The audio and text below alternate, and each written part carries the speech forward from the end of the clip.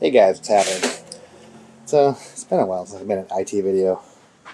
But uh, that's what I do for a living. That's what I do my whole life. Building servers, building offices, data centers, programming firewall switches. Um, so that's actually how my channel started off. I, I started off making IT videos, Cisco phone systems and Cisco phone system repairs. and um, But this is for a customer. It's going to be a database server, SQL server. Um, runs like their own in-house proprietary program. Um, this was bought on eBay, thousand bucks. It's a Dell R740. Um, yeah, nice server. So it's a single processor. I'll open it up and I'll show you. But this is actually the first server I've actually worked on where they actually have changed their logo to Dell EMC. Nice bezel though. I think it's metal. I don't know. Well, maybe not. It feels pretty solid though.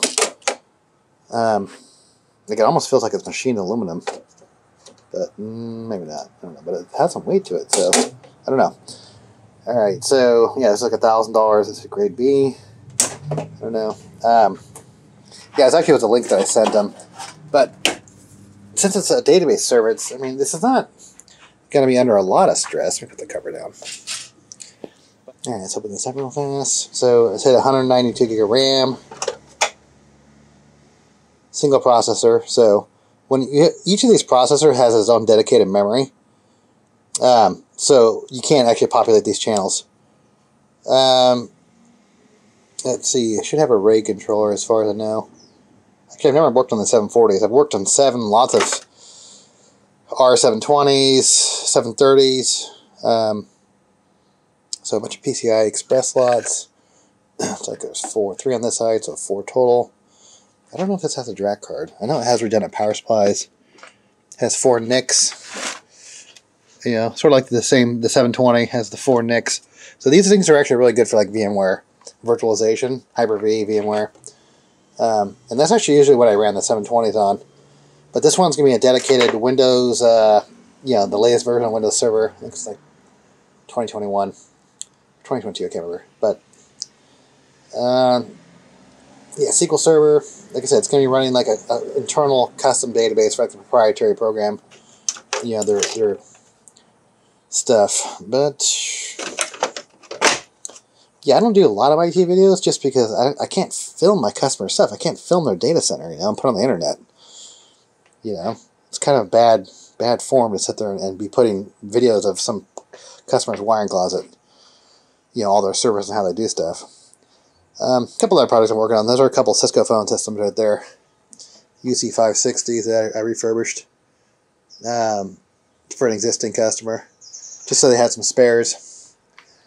Um, but if you weren't familiar with that, the Cisco, the Cisco, Cisco got out of small business, but they uh, had like an all-in-one office in a box. You know, network switch, firewall, phone system, all in a box. Okay, enough of that. Alright, so the drives are going to be, they're all solid state drives. So there's going to be, there's three. So these are actually the, the Kingston, uh, the nicer ones, like the more enterprise ones. Um, so the, the boot drive, the Windows C drive will be, uh, there'll be three drives. It's going to be RAID 1 with a hot spare. And then for the data, where the database will be stored, will be uh, 960 gig drives. So basically like one terabyte drives. Um, and so you're going to have, obviously, two drives, RAID 1, hot spare. RAID 1, hot spare. Um, that way, hopefully this will last the life of uh, the server, you know. So they'll never have to do SSD drives. I mean, I don't have a lot of SSD drives fail. Um, I think if I've actually had two fail. One was actually just got slow. I think I made a video about it, me fixing it. But uh, one was, it just it wasn't detecting the BIOS um, and the other one was um, it just started running a little slow. But um, I never actually had one fail on the server yet, so um, I don't have a lot of experience with failing SSDs. So, um, so sometimes I mean I don't know. If this is we'll see. I mean eventually, yeah. You, I mean this customer goes back, you know, years over ten years. I mean I have servers that I built five years. This, the server I'm replacing I built like five or six years ago. Um, yeah, it's funny. Back when I when I was back when I first started IT in the '90s, um, I mean, one gigabit, one gigabyte of memory was a lot. we're talking we were in megabytes back then. you know? Yeah, we're talking. I started fixing computers when I was 15, and um, yeah, we're talking like 286, 386. My first computer was 8088. Um, but all right, so the RAID controller. I wonder if this is actually. So sometimes you actually have like the the PERC controllers, um, which will have yeah okay this is a PERC controller. You can tell it's a PERC controller. It's a real RAID controller because it has a cache memory ba- battery backup. So in case this thing loses power, the the the data that's inside the, the cache memory will stay actually. Uh, you won't lose the data in the cache memory. Um, so when it fires back up, it will actually unload the cache. So in case you actually are doing like database transactions, I mean that's actually the- I mean the the benefit of cache is you're speeding up the the processing, but you do run the risk of losing your cache in case the power goes out. So it's you know, and if you're not paying attention to your battery backup, you could lose transactions. All right, so all right, maybe I'm rambling too much here. Yeah, so there is a remote access card here too. So um, some of these actually looks like they they sometimes they're an external card. Like I said, I've never messed with a 740 yet, so this is new. All right, so I'm gonna get uh, because this is a used server. What I do is I like to let it run for a day or two before I install it, just to make sure everything's going to work okay and looks good. So I'm gonna install the Windows updates. You know, install Windows Server, install the Windows updates, and then I'm gonna go back and do every single firmware update. BIOS, the BCM controller, the RAID controller, the NICs, network interface cards. Um, all these things actually have firmware updates. So I go through because this thing won't be touched for years and years. This thing will run for years. Um, all right, so yeah, I want to get all that settled right now, and uh, yeah, since there's only one processor, they have less fans. Okay. All right, so I'm gonna get that going. All right, here it is. Um, hopefully they fix the.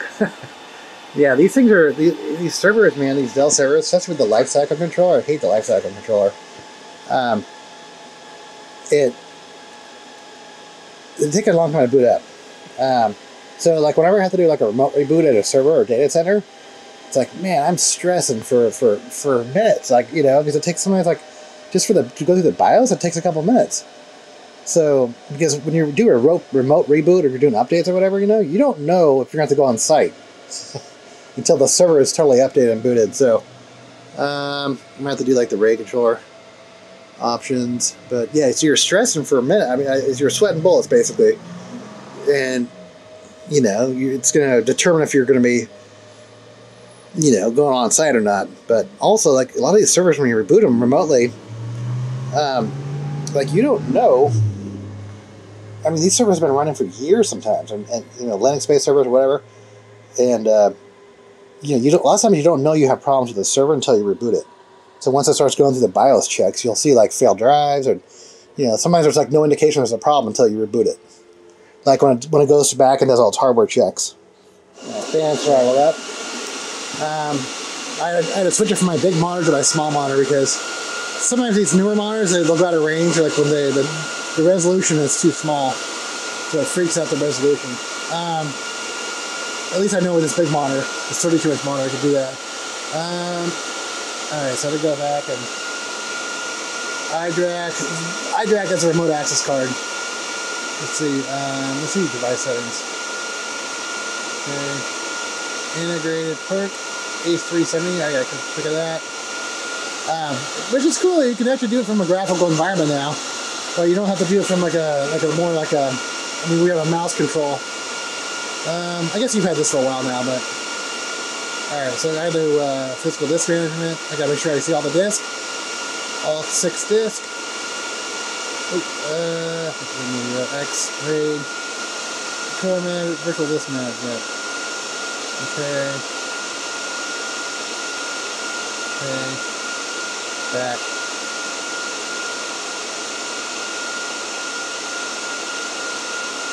No, I want to create a virtual disk. I want it to be RAID 1 and cache default. Yeah, the cache memory what will happen is if the battery goes dead, it will typically uh, disable write back cache. Uh, you go right through. Um, select physical disk.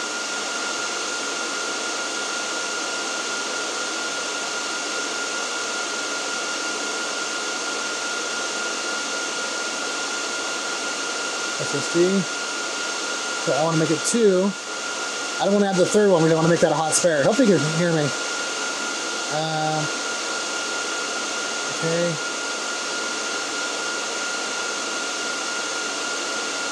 I don't. That's they're not SAS. Uh, they're not serial attached SCSI. Um, uh, I guess uncheck my disk. Okay. Okay, back. A one. And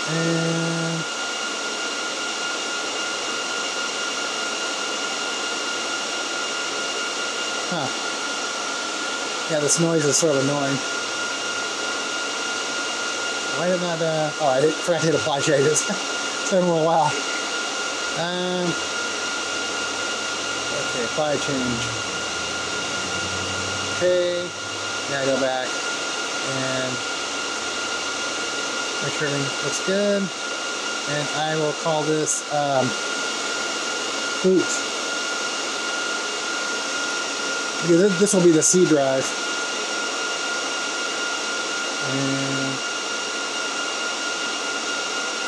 Okay, confirm. Yes. Hope you guys can see this. I don't even know if you, guys want to see this. Uh, okay, let's go back. I want to make sure that. Uh, okay, back. Raid one, boot zero, good. Alright. Oh, I didn't do that. Controller management, create virtual disk. I'm to do another RAID one. And it's going to be, I'm to make this one data. That, this will be the actual database itself. And I got to select the disk. And SATA, SSD, and it's going to be these two right here.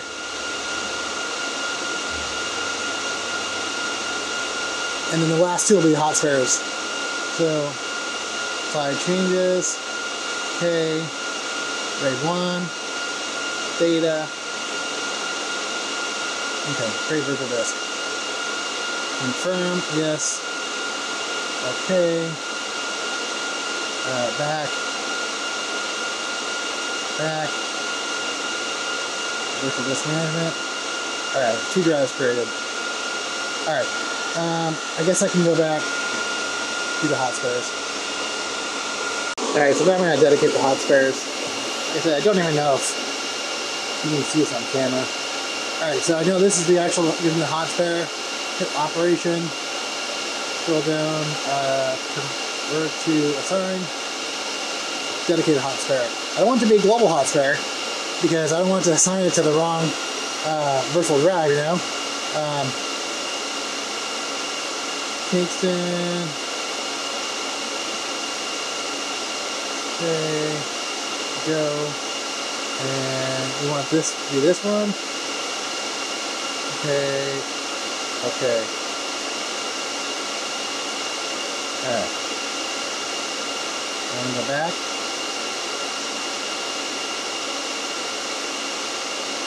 Okay. Now I go back here and this last one like I said, there's a difference. I a global hot spare. So if all the drives were the same, maybe you could do global hot spare.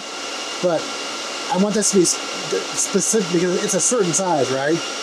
I don't want this big hard drive this to be assigned to the the RAID uh, the boot drive uh, container. Actually, I don't even know if they even call it a container anymore. Back in the day, they would call these things containers. Um,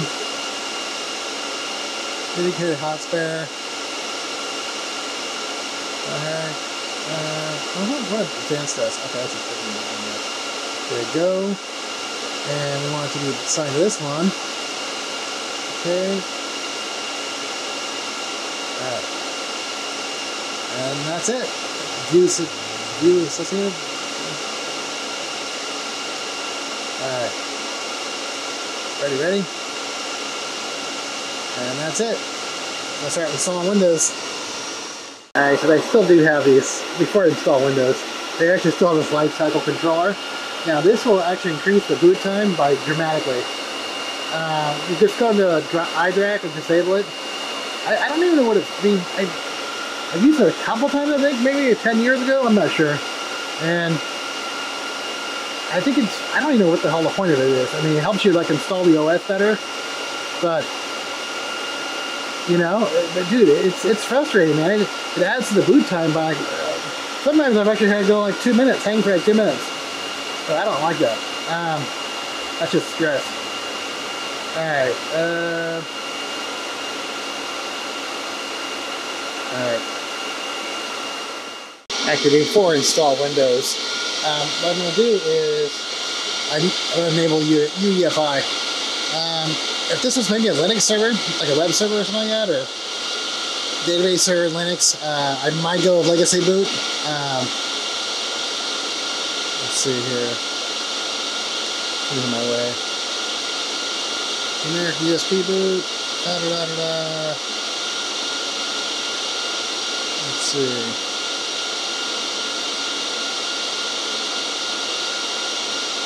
Okay, I gotta restart it.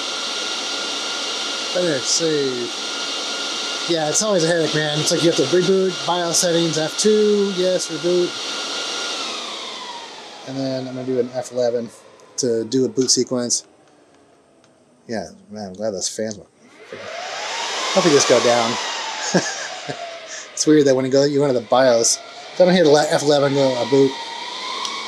Okay, so I'm in the F11 boot manager and I hit down my Cruzer, that's my USB.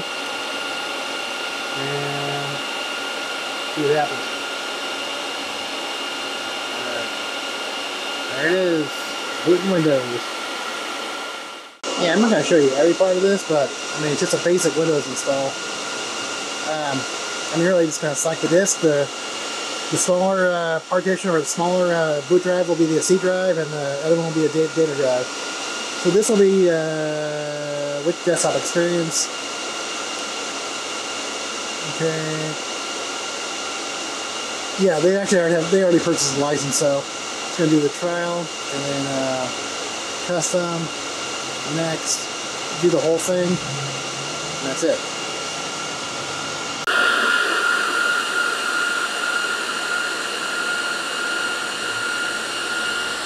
I don't know what that sticky stuff is. Leave that off there. And I got Windows installed. I gotta figure out this fan situation, man. I can't have these fans going all the time. Normally they should throttle down around. Not just something wrong with the motherboard. Like uh, in the front, there's usually like a like a controller, like a thermistor, or like a temperature sensor. So I gotta figure it out. I'm gonna do all the uh, Windows updates, firmware updates, and um, hopefully I can figure out the uh, fan thing. Alright, so the BIOS on this machine, I can't just go from the old 1.4.9 to 2.1. I have to like do like a staggered upgrade. Alright, I'm doing upgrades right now, so don't expect this to take uh, be a quick uh, installation. I mean, just doing these firmware updates, reboots, they take forever to boot up. Uh, I mean, I, am going to have at least four or five hours in this thing, you know, going through and verifying everything before I even do the install. At least four or five hours. Well, I did decide to use a lifecycle controller to update. Um, even though I actually upgraded the RAID controller, network card, um, the BIOS, um, and the uh, DRAC card and lifecycle controller, there's still a couple other firmware updates I didn't even know existed on the actual board. So that's actually what I kind of want. I want to make sure everything's updated because this thing's not going to be touched again for probably four or five years if everything goes as planned.